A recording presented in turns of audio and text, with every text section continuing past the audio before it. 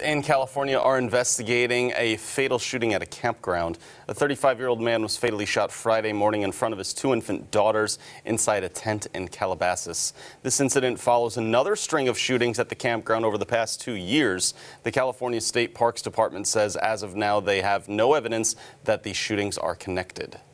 At least 10 homes have been destroyed by the Pawnee fire in Lake County, Florida. It began Saturday night and has burned 1,500 acres at last check.